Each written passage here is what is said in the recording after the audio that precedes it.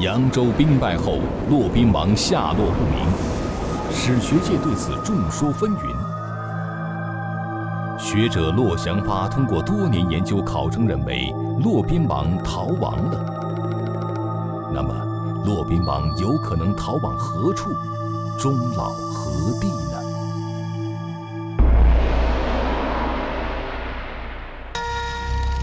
我们听到的历史都是真实的吗？那些被人们遗忘的、被计谋掩盖的、被岁月尘封的历史背后，究竟发生了什么？系列历史探索纪录片《迷失的踪迹》。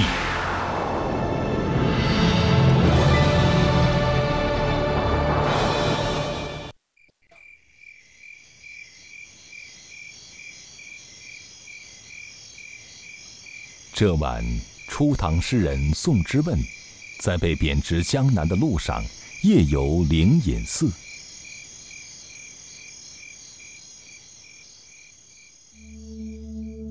眼前的景色让宋之问诗兴大发，他脱口而出首联：“旧岭欲迢遥，龙宫锁寂寥。”可是后联却怎么也续不上来。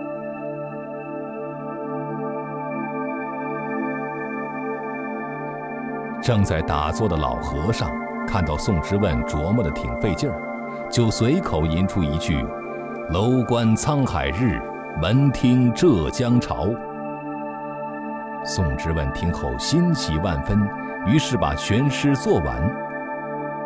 他反复吟诵自己的这首诗，觉得老和尚赠的诗联实在是全诗的点睛之笔。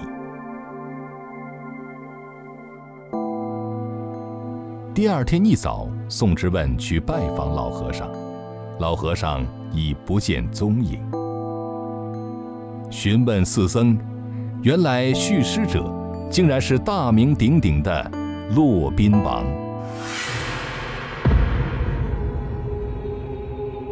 这是中晚唐之交的孟起在他所撰写的本事诗争议中的一段记载。这则故事在骆宾王兵败逃亡的传闻中传颂最为广泛。孟起在本事诗中说：“骆宾王落发之后，便游名山，到了灵隐寺，终老而死。”那么，骆宾王出家灵隐，是不是确有其事呢？如果骆宾王到过灵隐寺，是不是真的？终老于灵隐呢？于前《骆氏宗谱》中明确写道：骆宾王兵败后，他的儿子崇德从义乌来到了于前，随后联系到出家在灵隐寺的骆宾王。于是骆宾王自灵隐寺联诗后，来到了于前。但是骆宾王究竟藏身于于前的什么地方？宗谱却没有提及。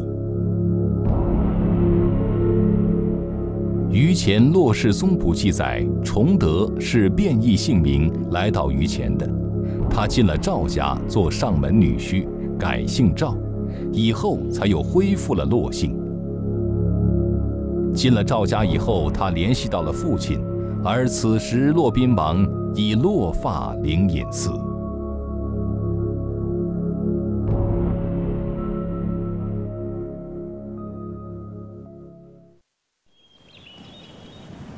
这一天，周至来到了唐公山村附近。唐公山村是赵氏宗族世居的地方，很久以前，崇德应该就住在这里。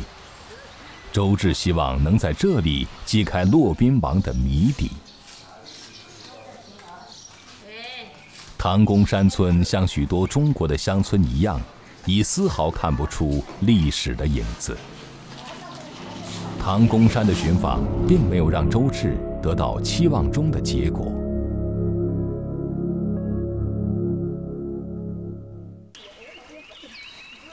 站在山坡上眺望，在渝西西岸的山坳里，是曾经建于晋代的妙乐寺。遗憾的是，这座千年古庙已在文革中被毁。现在的小庙是在原来的庙基上建起来的。村民告诉周志，这个庙里住过骆宾王。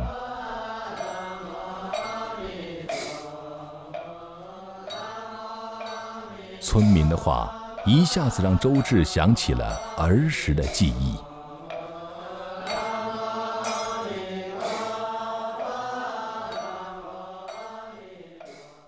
那我曾经的到过庙乐寺，听庙乐寺的老和尚说了，这这个庙里呢曾经住过个骆宾王。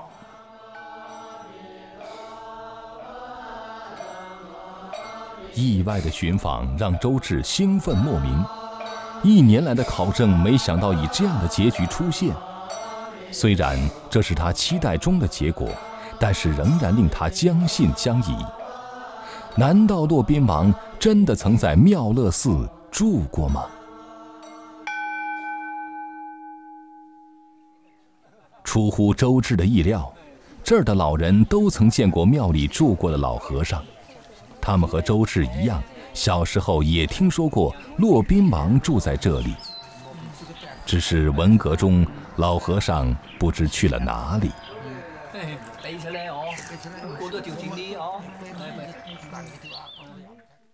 因为庙小香客少是比较安静的地方，而后他义务的清早，逐步逐步的有人到现在他在他的周围组织下来，因为义务了到现在啊有西路交通啊非常方便。实地考证和可靠的史料记载使周至确信，骆宾王确实是终老于榆钱的。然而，令人不解的是，既然骆宾王终老于前，在于前应当有骆宾王的墓葬，可是，在于前并没有发现骆宾王墓。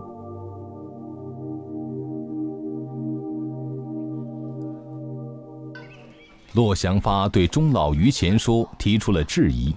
骆祥发认为，仅仅依靠宗谱的记载来推断骆宾王的行踪，有失偏颇。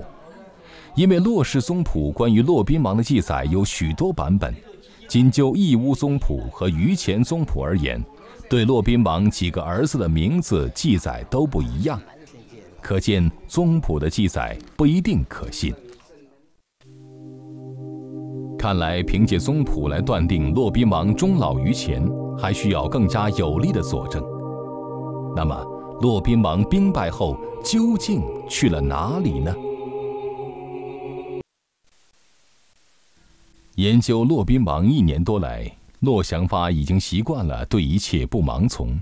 他决定重新审视灵隐去诗的故事。骆祥发在字里行间寻找着，突然，一个莫大的疑问闪现在他的脑海：骆宾王和宋之问是很好的朋友，怎么在灵隐寺中见了面，互相不认识呢？孟起在文中说，宋之问是在被贬放还回江南的路上夜游灵隐寺的。查宋之问的生平，宋之问只有在武则天退位后有三次被贬的经历。那么宋之问第一次贬的话呢，是贬到那个龙州，龙州这个地方现在在现在的广西。那么他那时候逃回来了，一到那边以后，他是逃回来，逃回来呢，去到洛阳一个朋友家里面。后来那个朋友呢，他们认为人学准备这个这个，呃，据说武三思。因为武三思那时候武则天死掉，武三思他还是正院的。那么宋之问听到这个东西，他觉得是很好一个机会，马上把自己朋友去买。公元七百零九年，宋之问第二次被贬，到了越州，就是现在的绍兴。如果说他在连宁碰到这个老兵王的话呢，只能在这次啊，这次呢确实你见过了隐寺的是吧？学业没有放完，但他可能路过那里的话，没需要领银子。因为其他两次被贬，宋之问不可能经过灵隐寺，所以宋之问只能是在七百零九年被贬越州时路过灵隐寺。那么骆宾王是不是因为扬州兵败的事不方便与宋之问相认呢？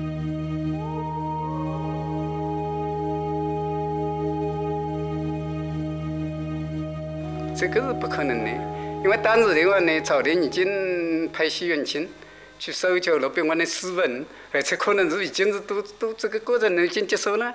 那么对骆宾王来说的话呢，在某种程度上已经平反了，啊，他只是把自己真的性命露出来，根本朝廷不会去问他了。不平好像是精明了什么，这个这个是人认识了这个可能性是不存在的。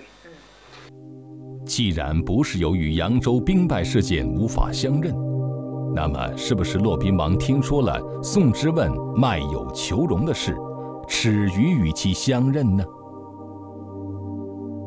那没有这种可能。如果说他耻于宋之问见面的话，没胜任的话呢，那他何必去给他说事呢？那他不学就可以了，是吧？这个可能性不存在的。不仅如此，骆祥发还发现本世诗中还有种种矛盾之处。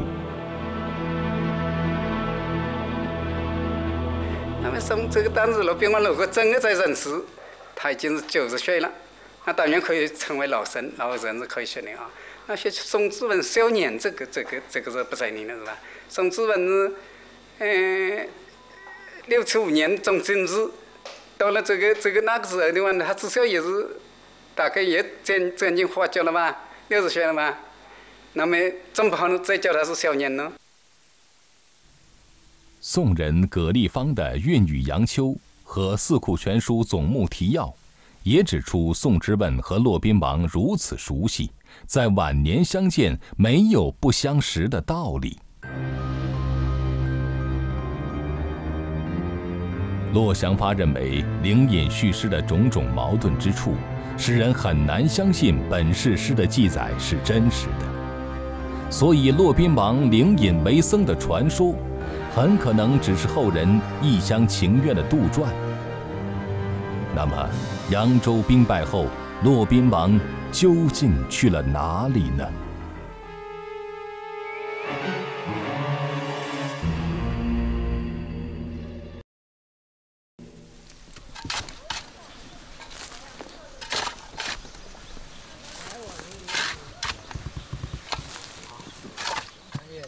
姓曹的农民在这里挖池塘，已经挖了大半晌，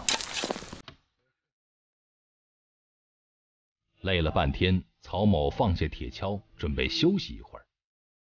这时，他看到自己脚下露出了一块石碑，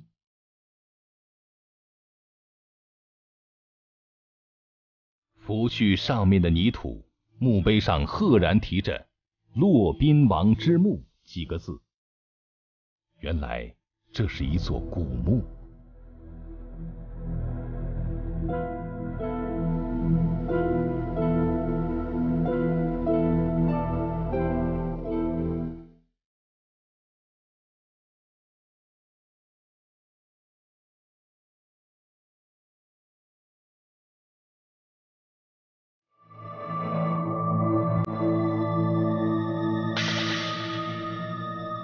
他把棺盖慢慢撬开，看到的一幕顿时令他毛骨悚然：一个穿着整齐的人躺在里面。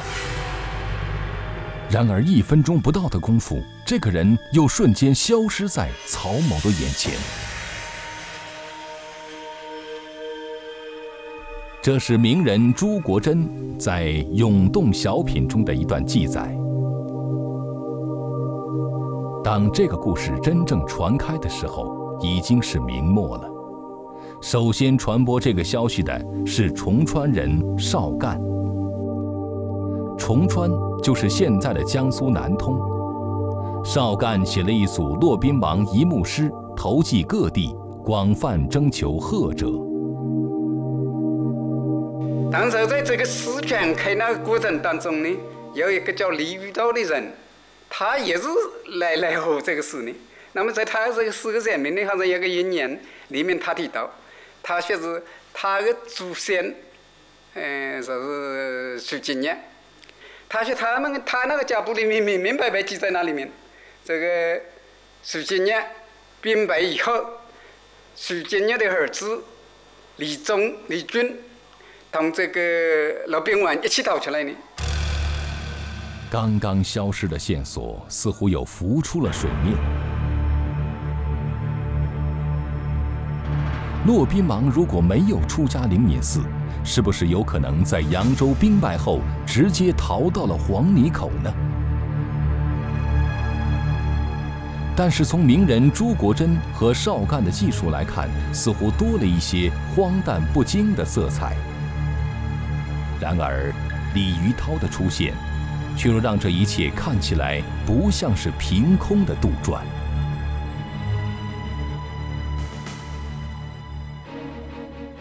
李渔涛自称是开国元勋徐继三十七世孙。他在《贺骆宾王一幕诗引》中说：“扬州兵败时，骆宾王和徐敬业的儿子李炯一起逃出，隐身在赣江的白水荡，也就是现在的江苏南通一带的芦苇荡。逃出来以后，他们也讲到呢，就是他们先到老兵王到里面做人了什么的。”他说：“是在那里呢，多转那段时间以后，老兵王死掉了。死掉以后呢，这个呃李忠的话呢，给他呢，这个埋了棺材呢，给他安葬。”李渔涛在文章中强调，这些事情都详细的记述在自家的家谱里。李渔涛的家谱记载和朱国珍的记述相吻合，看来骆宾王埋骨黄泥口，并不是捕风捉影。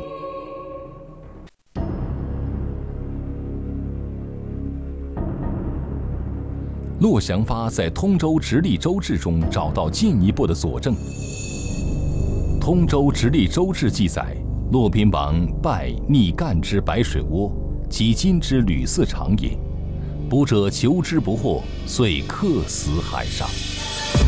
这个通州的话呢，说是现在的这个南通了啊。这个白水窝就是这个那个咱们提到那白水潭。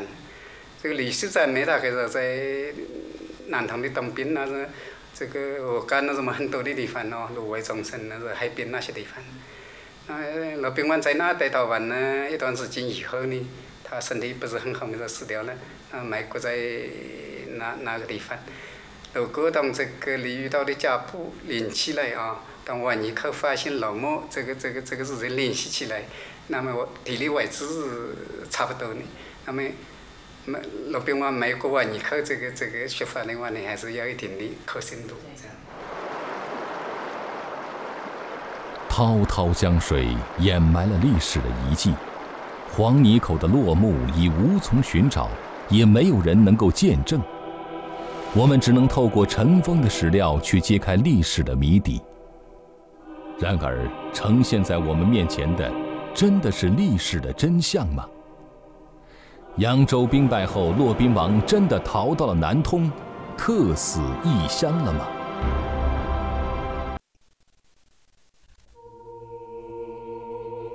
这是位于骆宾王故里义乌上风堂的骆宾王墓。义乌骆氏宗谱明确记载，骆宾王兵败后，先是藏身于灵隐寺，最后还是回到了家乡。死后就葬在义乌县东三十里的上风堂。如果真如义乌骆氏宗谱记载，骆宾王是终老于义乌的，又该如何解释于前骆氏宗谱终老于于前说呢？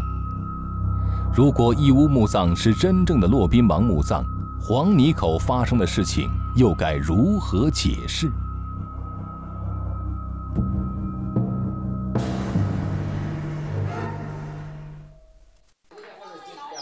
这一天，周志来到了一位和他一样沉迷于骆宾王生死之谜的老人家里。周志把心头的困惑告诉了朋友。老人告诉他，在榆钱过去一直有一个风俗，就是人死后要停棺三年，然后把骨头入土安葬，叫拾黄金。周至的心头一下子豁然开朗。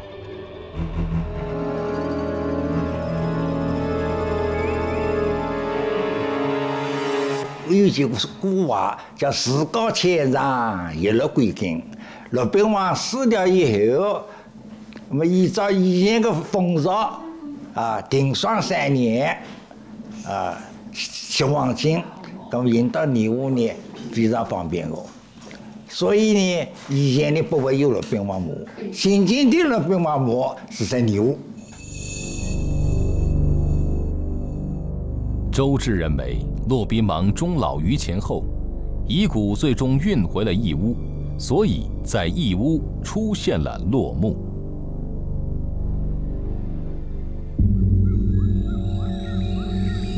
一切的焦点都集中在上峰堂落墓上，人们渴望能从这个千年古墓上找出答案。如果这个古墓下面确实埋藏着骆宾王的遗骨，那么从落墓的修建时间，或许就能够推测出骆宾王扬州兵败后的行踪。这样的话，也许一个千年的谜团马上就能够揭开了。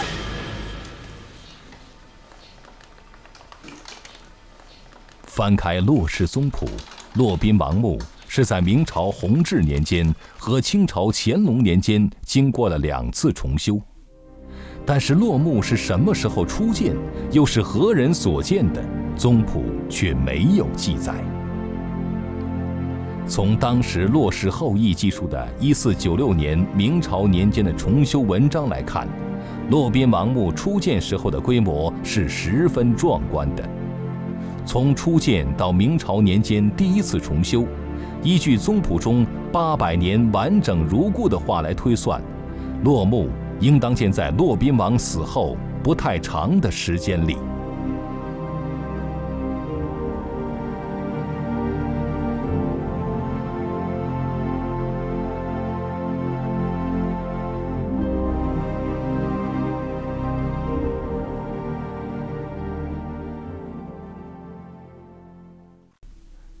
一九三三年，自称骆宾王四十世孙的骆凤生，在他所集的《骆文忠公墓考文集》中，收录了从明朝一直到民国以来历代探寻骆宾王墓迹的文章。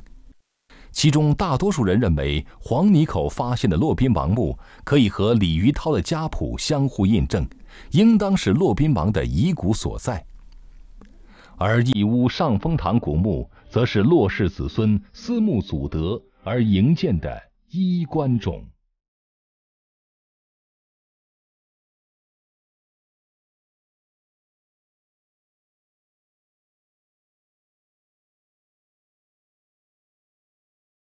唯一能够证明黄泥口是真墓葬的，只有李于涛的家谱，可是没有人见到过这份家谱。黄泥口和义乌墓。到底哪个是骆宾王的真墓，已经无法得到考证，所以扬州兵败后，骆宾王究竟逃往何处，终老何地，也就成了一个永远无法解开的谜。但史学界普遍认为，骆宾王终继南通的可能性最大。